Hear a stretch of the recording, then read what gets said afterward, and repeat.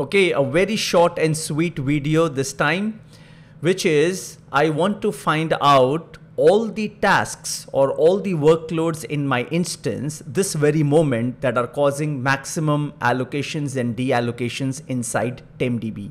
So we are talking about real-time TempDB monitoring. So when TempDB is under heavy fire, I want to run something, some script and figure out all those tasks and sessions that are causing maximum allocations and deallocations, which is like creating objects, destroying them, etc. And this video and all of the script and everything that I'm showing is based on uh, questions that I see in the forum about TempDB. Okay, so well, the script has a lot of different elements, attributes, DMVs, etc. But the key thing here is this DMV, DMDB task space usage. So there are a couple of important uh, DMVs which have prefix DMDB. So if you see a DMV, dynamic management view, which has this prefix DMDB, which means it is meant to do something with TempDB database.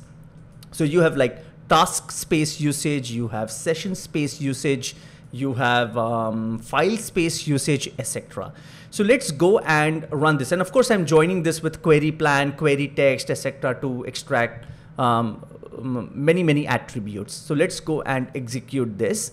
And you can see all the active sessions right now. And you can see their task allocations and deallocations are nicely sitting at zero, something that you will never see on production boxes. So this is a very quiescent VM right now.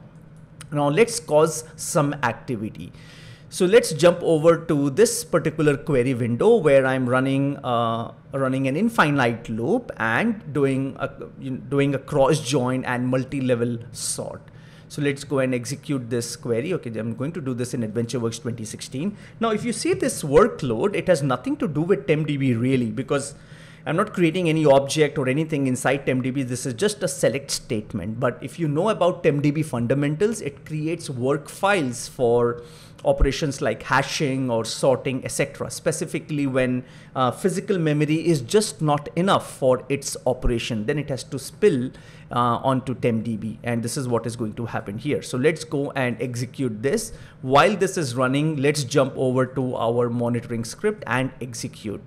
And now when I execute this, you can clearly see session ID 75 and allocations 32.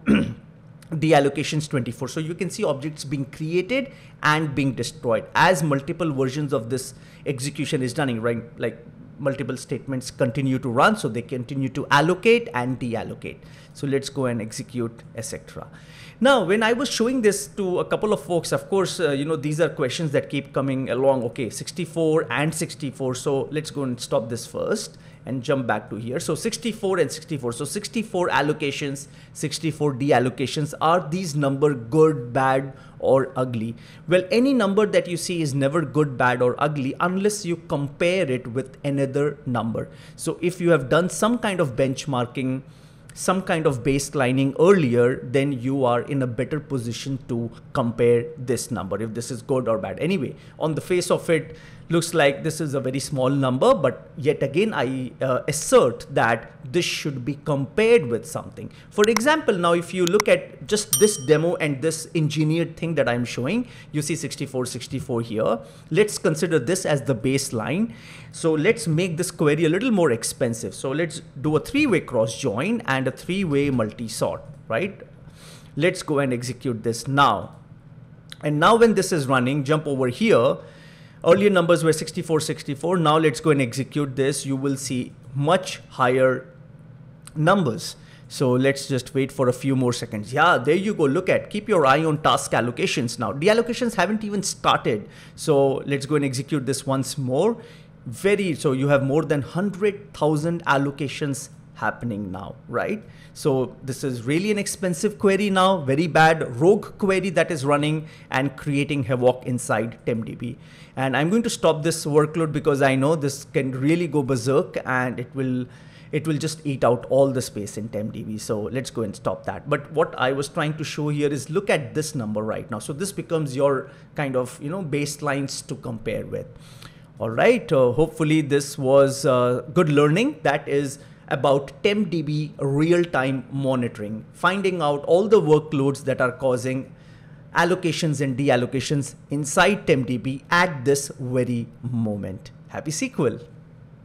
If you like the content, give it a thumbs up, subscribe to the channel and click on the bell icon so that you're notified on new videos.